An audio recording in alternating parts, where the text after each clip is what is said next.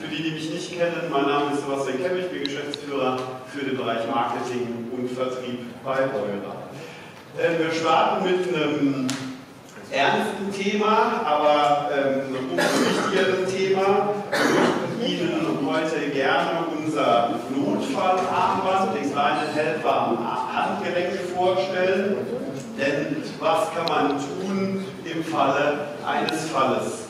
Ich denke, wir alle, Sie alle, wir wollen ähm, möglichst lange selbstständig leben, am besten natürlich bis ins hohe Alter hinaus. Wir möchten nicht unbedingt in Pflegeheimen, dennoch ist es eben so, gerade im Alter steigt natürlich die Gefahr, dass einem was passiert, dass es einen Unfall gibt, dass man stürzt. Also tatsächlich gibt es einen äh, exponentiellen, exponentiellen Anstieg hat er mit der Unfall, der Sturzgefahr eben mit im Alter. Und ähm, die Angst ist groß und mit unserem Notfallarzt 70 wollen wir eine Lösung anbieten, dass man sich auch im Falle eines Falles sicher fühlen kann. An unserem Notfallarmband ähm, es ist eben so, dass es den Sturz eines Trägers automatisch erkennen kann und ähm, über eine App die Angehörigen, die man dort hinterlegen kann, automatisch informiert, ähm, einen Notfall auslöst, eben die Angehörigen benachrichtigt. Ergänzend kann man einen professionellen Notrufservice ähm, zubuchen. Es wird ähm, eben zusätzlich ähm, auch der Standort angezeigt im Falle eines Falles. Ähm, und ähm, vielleicht gehen wir ein bisschen darauf ein, wie das genau abläuft. Ich arbeite quasi vollständig alleine.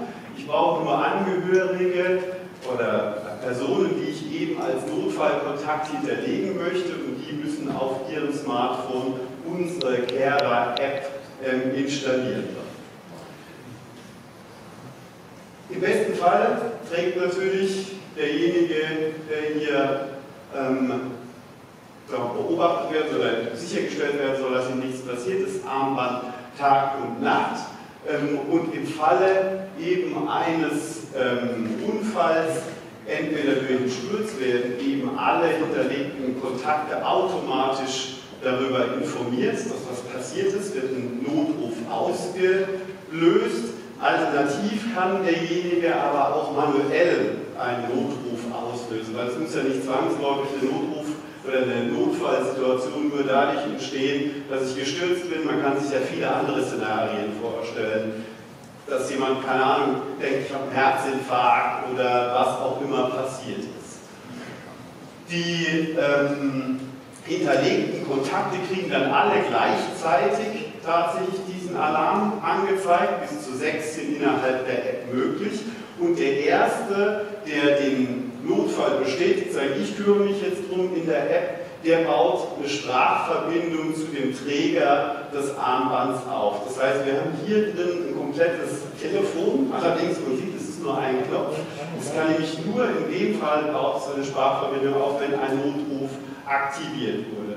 Da baut sich die Sprachverbindung auf. Ähm, man kann klären, ist jetzt hier tatsächlich irgendwas passiert, war es nur ein Versehen, ähm, ist was passiert, wie, können, wie kann ich helfen? Das ist die eine Möglichkeit. Jetzt kann man sich aber vorstellen, dass es natürlich auch Situationen gibt, wo derjenige eben nicht mehr in der Lage ist, ähm, jetzt mit einem Gespräch darauf zu antworten, ans Telefon quasi zu gehen. In dem Fall übermittelt Notfallarmband auch tatsächlich aktiv den Standort desjenigen, sodass man die Hilfe vor Ort organisieren kann. Also entweder eben seinen Angehörigen findet ähm, und oder vielleicht sogar den Rettungsdienst alarmieren kann und den Rettungsdienst eben zu der Person ähm, leiten